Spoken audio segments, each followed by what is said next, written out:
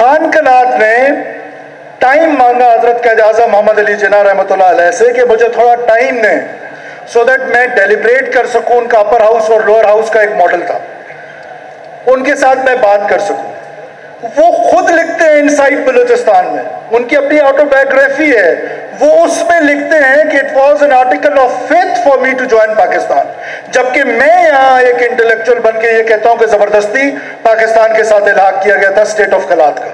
تو state of Kalat Sariab سے شروع ہو کے وٹ پہ تو ختم ہو جاتی تھی۔ ہسٹری کو بھی ہم نے بلوچستان میں اپنی مرضی سے ڈرافٹ کیا ہے۔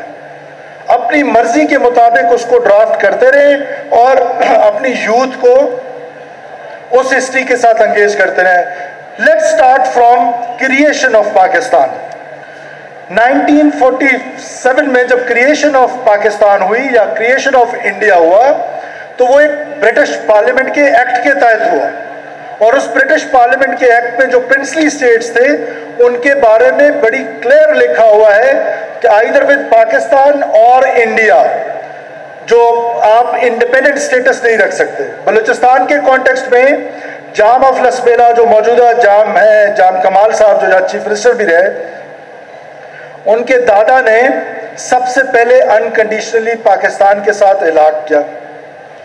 اس کے بعد خاران اور مکران کے جو نواب تھے، انہوں نے علاق کر لیا۔ خان کلات نے ٹائم مانگا حضرت کا اجازہ محمد علی جناح رحمۃ اللہ علیہ سے کہ مجھے تھوڑا ٹائم دیں سو دیٹ میں ڈیلیبریٹ کر سکوں، ان کا اپر ہاؤس اور لوئر ہاؤس کا ایک ماڈل تھا۔ ان کے ساتھ میں بات کر سکوں۔ وہ خود لکھتے ہیں انسائٹ بلوچستان میں۔ ان کی اپنی آٹو بایوگرافی ہے۔ وہ اس میں لکھتے ہیں کہ it was an article of faith for me to join Pakistan جبکہ میں یہاں ایک انٹلیکچوئل بن کے یہ کہتا ہوں کہ زبردستی پاکستان کے ساتھ الحاق کیا گیا تھا اسٹیٹ آف کلات کا۔ تو اسٹیٹ آف کلات سریاب سے شروع ہو کے وٹ پہ تو ختم ہو جاتی تھی۔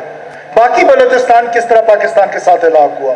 پھر 1948 1948 میں جب یہ ہوا تو خان عبد الکریم خان جو خان کے بھائی تھے شہزادہ ذوالفقار صاحب ول بیئر می آؤٹ وہ افغانستان چلے گئے۔ ہمارا پہلا انسرجنٹ اس کو اسٹیٹ آف افغانستان نے پناہ دی۔ آپ دیکھیں کہ اس ریاست کے خلاف کس منظم انداز میں سازش کی جاتی رہی کہ افغانستان کے کانٹیکسٹ میں ہمارے جتنے کمپرس دوست ہیں، ہماری یوتھ کو بتاتے کیا ہے۔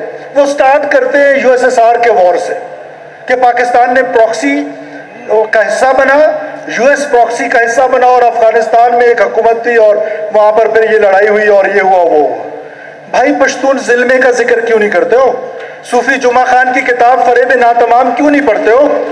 کہ پاکستان کے خلاف کریشن آف پاکستان کی افغانستان نے مخالفت کی، ہمارے پہلے انسرجنٹ کو افغانستان میں پناہ ملی پھر پشتون ظلمے کے نام پہ نائنٹین سیونٹیز میں جو پروکسی پاکستان کے خلاف شیرپاؤ صاحب کا قتل چمن میں دھماکے کچلاک میں دھماکے، چارسدہ میں دھماکے، تو وہ ساری چیزیں ہم کیونکہ ہسٹری کہاں سے شروع کرتے ہیں؟ جہاں سے ہمارا مطلب ہوتا ہے، جہاں سے آدھا سچ بتایا جاتا ہے، پورا سچ بتایا نہیں جاتا ہے۔